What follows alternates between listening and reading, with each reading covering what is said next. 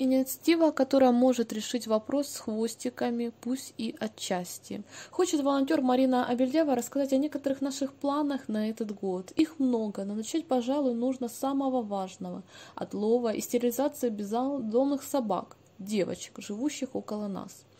Э, собиралась э, приступить к реализации сразу после Нового года, но появление у хозяйки домашнего мини-приюта собаки Симашка, песика по кличке Босс, э, несколько внесло коррективы по срокам, но при этом еще более убедило, что этим нужно заниматься, ведь он и его состояние прямое следствие этой проблемы. Эти планы выходят и не, совсем, не совсем э, приют.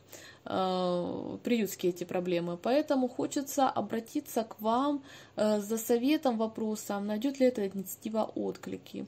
Все-таки заниматься стерилизацией бездомных, когда в самом приюте тоже весьма плачевное состояние, и направлять туда ресурсы, на первый взгляд, не совсем целесообразно. Но эти меры помогут избежать главной проблемы Марины Абельдяевой – роста и популяции бездомных на улице и в самом приюте. Она и сама готова где-то ужаться, что что-то отложить, пока вольеры те же, но быть уверенной, что весной-летом не придется принимать новых щенков. Да, все этим бесплатно э, занимаются госструктуры, но не очень эффективно. По, вывозам, по вызовам волонтера не отловили ни одну особь. Помощи от местной администрации сейчас ждать не придется. Порой нам кажется, что волонтер единственное, кому вообще в этом поселке это надо. При работе же с частниками одна собака обойдется 4-5 тысяч рублей. А сюда входит частный отлов, стерилизация, перевозка животных обратно в место их обитания, передержка при необходимости.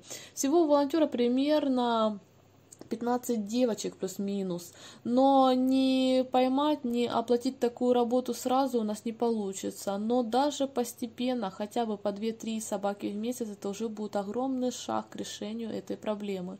Друзья, напишите, пожалуйста, что вы по этому поводу думаете. Ваше мнение очень важно, а без вашей поддержки это вообще будет невыполнимо. Ведь Марина Бельдяева понимает браться за решение проблем района, не решив даже близко своих, может и неправильно. Но так тяжело видеть, когда ты приходишь кормить три, а выбегают уже восемь. Но еще страшнее, когда из укрытия выходят только уже четыре, и ты понимаешь, что жизни малышей унесли болезни, голод и человеческое безразличие.